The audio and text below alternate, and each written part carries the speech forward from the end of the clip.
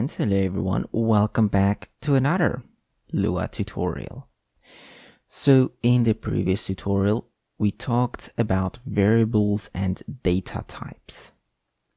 In this tutorial, we'll be talking about strings, aka text, anything in single or double quotes. So as we've learned from previous tutorial, local x is equal to str. This is a string. This will be taken as a piece of text and we can use it. The same with single quotes str. This is also a string. This will also be taken up as a string. And then last but not least, these double brackets. These are kind of like literal strings. Whatever you put in here will really be displayed. So if I put a tab here, this tab will be displayed. If I were to print this and run it, as you can see, it literally takes those tabs and new lines. So those are the three ways you'd usually be making a string. Let's continue to actually using a string. So let's say we have a piece of text here. Hello world. This is just a string. Normal string doesn't do anything. To get the length of the string, we can put a hashtag here. And a hashtag in Lua basically means return the length of something. So if we go here, we'll get 11 because there's 11 characters in here. We could also put the hashtag here. This will also get us the length of the string. Because remember, X here is just a placeholder for this string here. So this right here, that X is the same as me doing this. And of course, for concatenation, you can just say two dots and then what you want to add let's say an exclamation mark, and now there will be an exclamation mark.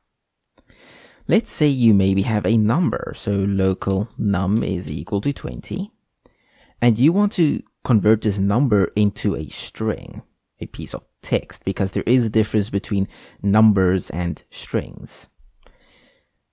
Well, to do that, it's fairly simple.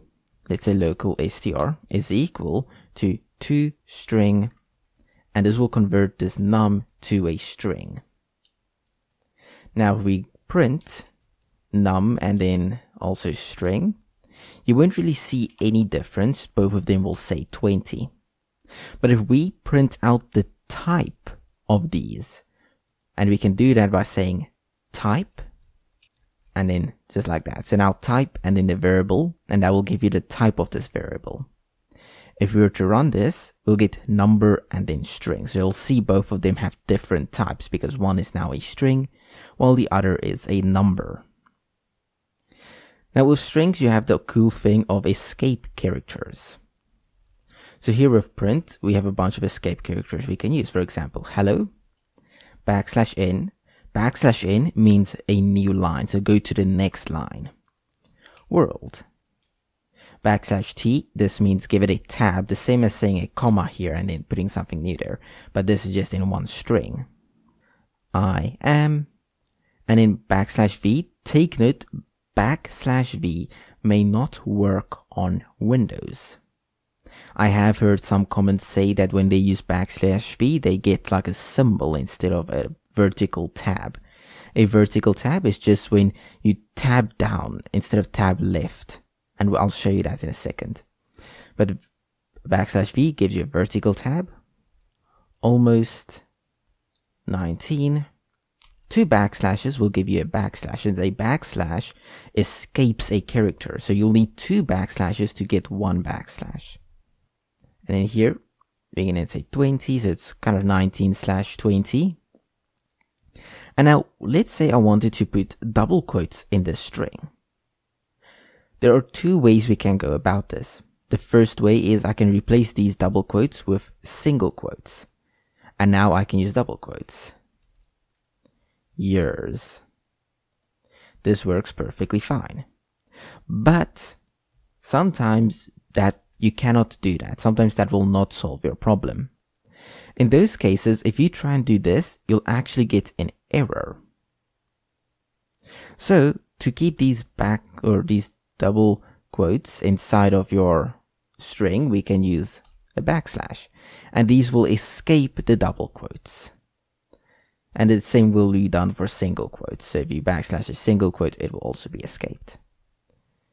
And these are just a few of them. There are a ton of these escape characters, but I'm not going to go through every single one of them. If we were to print this, we get hello, new line because backslash n, world, then a tab, not a space. This is a space. This is a tab.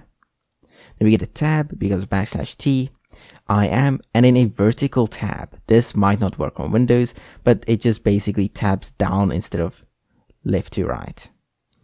Almost 19 backslash 20 years. And in our quotes.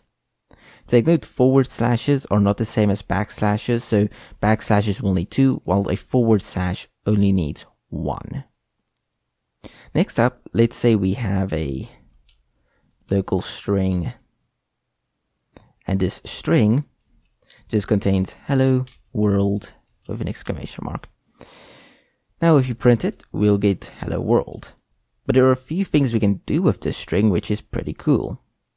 First off, we can say print and then we can go string and this will use the string functions we have inside of Lua. There's a lot. I'm not going to cover all of them, but I will be covering the ones you might like to use the most dot lower. And this will convert the string to lowercase. And just say str here. You can do the same and then for upper, so uppercase, and then you also have one for length and this will get the length of a string. It's the same as if you were to say, instead of string.len, you were to just go hashtag. Hashtag you can see as a shortened version of this. This will return the length of the string, this will convert the string to uppercase and this will convert the string to lowercase. Let's see what we get. So we get our normal hello world, then a hello world that's just lowercase, a hello world in all caps, and in the length of this string. And that's the basics of string. There's a lot more we can do, but for now, that's all we need to know. Thank you all for watching. I hope you all enjoyed and I will see you all again in the next Lua tutorial.